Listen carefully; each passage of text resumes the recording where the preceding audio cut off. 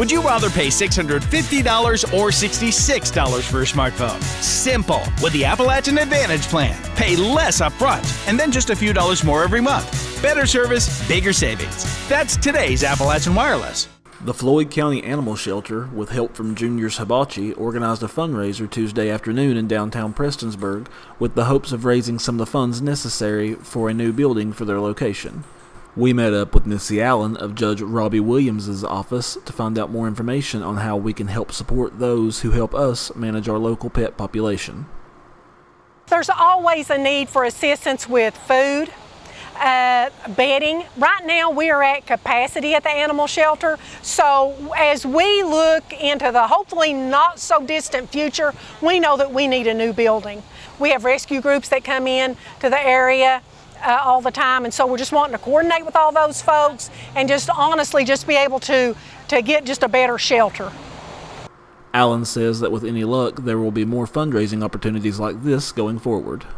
One of the projects that the judge's office is very interested in being involved in is with our Floyd County Animal Shelter. So we are working with the shelter to raise money through various fundraisers and this is just one such fundraiser. We hope to be able to continually do fundraisers through the upcoming months, at least quarterly, to have something planned, 5Ks, different things like that. As we put together a board at the animal shelter, we've got some folks that are going to be coming onto the uh, current board. Then we're looking for new ideas and, and just ways to get people involved with our animal shelter and just to, I guess, just let people know that it's out there and that, that we need help.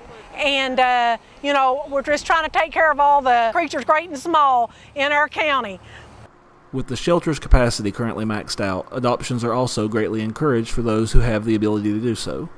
And while their adoption fees of $120 for dogs and $90 for cats may seem higher than most, Allen points out that the extra expense up front will actually save pet owners considerable money in the long run as the shelter, unlike other shelters, covers most of their animals' initial veterinarian costs. But one of the things that we do at our animal shelter that is a little bit different, a lot of people think, well, wow, those fees are high.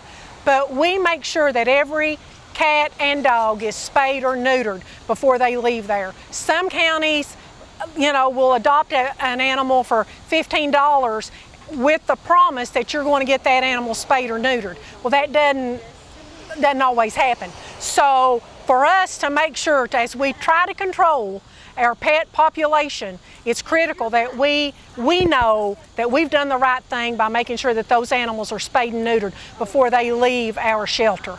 So for that reason, our fees may seem a little high, but you don't have that expense down the road when you go to a vet to try to get that done. For more information on the Floyd County Animal Shelter and their continuing fundraising opportunities, Residents can contact the shelter directly at 606 886 3189 or Missy Allen at either 606 886 9193 or 606 791 7837. For Mountaintop News, I'm Joshua Sloan.